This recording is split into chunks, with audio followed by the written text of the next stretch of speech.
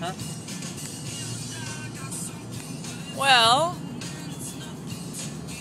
we are in Just leading Carl. Yamhill Carlton, and there's nothing. See? A tree. Other cars. And me.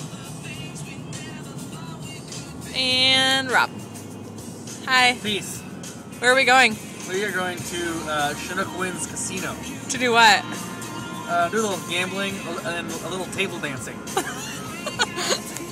I don't think that was on the agenda. Oh, well, I guess we'll see, won't we? We'll Okay. check back in later. We'll let you know how that goes. All right, sounds good.